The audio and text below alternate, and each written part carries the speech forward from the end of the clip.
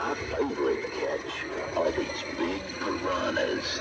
They are so delicious to eat. If they don't eat you first.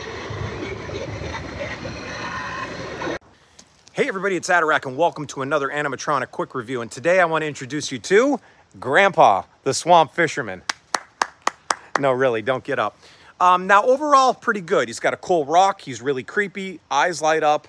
The fish that you see on his pole there has a mouth that moves and also lights up. And he has about 60 seconds of audio. On the downside, the audio is drowned out by this water sound they put behind it.